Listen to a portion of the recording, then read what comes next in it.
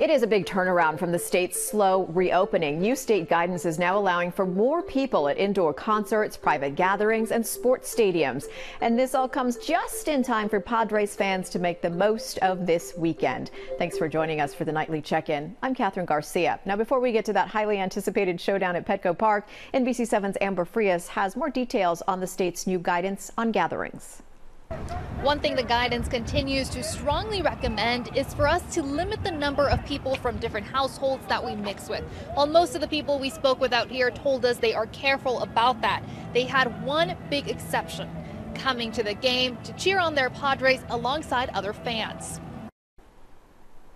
The guidance comes as the state continues to trend in the right direction. As Amber mentioned, the state's recommending against mixing between group gatherings. While face masks are removed for eating and drinking, people still have to stay at least six feet away from everybody outside their household. The state's new guidelines also recommend, listen to this, that when singing, chanting, or cheering on your favorite team, you do so quietly and with your mask on.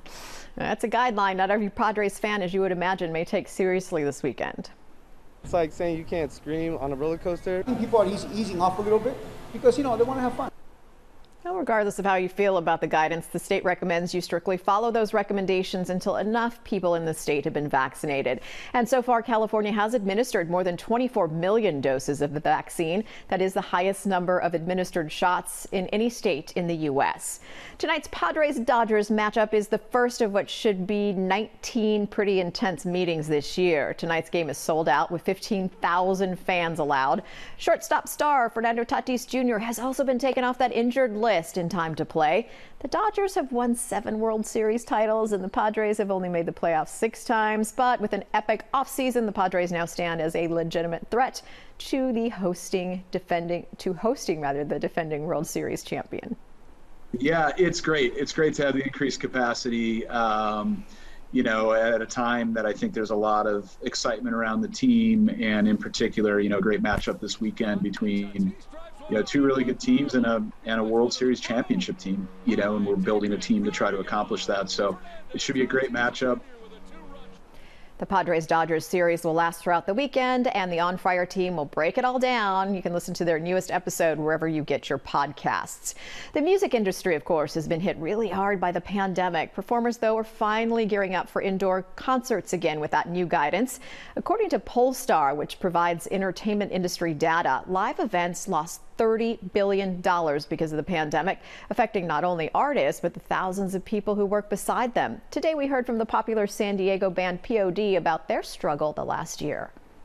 Did you guys feel that impact financially? Yeah, because like I said, uh, you know, you don't tour, you don't eat. You know what I mean? So we're all this, you know, almost year and a half. Um, I've been living off savings. You know, it's just how it, it's how it goes. We're like I said, we're a blue collar band. We're not that band that got the billion dollar contract or you know what I mean, or did all these deals and are sitting on a gold mine. You know, we tour all year long, and and really we we're supported by those who who love our music and come to our shows. Well, POD's first tour in more than a year begins August 14th. It's going to start at the Sturgis Motorcycle Rally out there in South Dakota. Big news came this week allowing those 16 and older to get a vaccine. And as for those younger than 16, it's Still too soon to tell, but clinical trials are underway right now. Today we heard from a 12 year old from San Diego who's taking part in a trial. We always hang out and we just want to get back into being able to hang out uh, apart from just like outside social distance with masks on and actually start going places together. Evie Spengler is taking part in the Pfizer vaccine clinical trial for kids ages 12 to 15. Her mom tells us that Evie received her first shot in December, her second in February. Now, they still don't know if Evie actually got the vaccine or a placebo and has, for the most part, she's felt symptom free, besides a little bit of arm soreness and fatigue. Evie's mom told us that Evie will be monitored for two years as part of the trial. She currently keeps a digital journal of her symptoms and has to take a self administered COVID test every two weeks.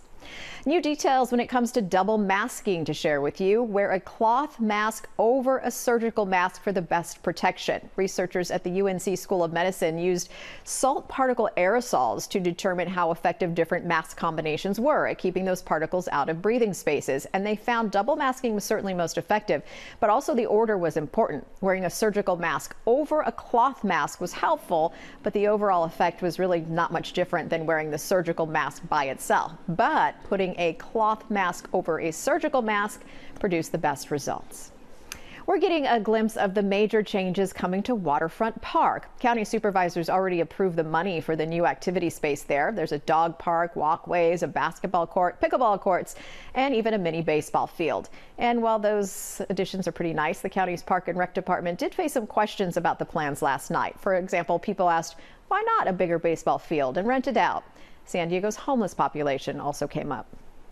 We explored other sizes, um, but because we're trying to provide a variety of rec amenities here, the 100 foot foul line really fit best. I don't believe that making a partic- this particular area, changing it from what it is, the gardens now, to active recreation, will necessarily increase our um, our homeless population, our unsheltered population in this area.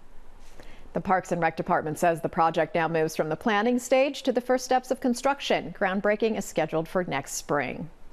NASA's next mission to space is closer to being ready for liftoff. The SpaceX crew arrived at the Kennedy Space Center today. Four astronauts will travel to the International Space Station and spend six months there for a science-based mission. The space launch is scheduled for next Thursday. This will be the second crew to go up to the International Space Station in SpaceX's recycled Falcon rocket and Dragon capsule. And before we sign off, here are your current temperatures. Dagmar has an extended forecast at the weather section on the main menu of our Roku and Apple TV app. That's going to do it for our nightly check in. Have a great night.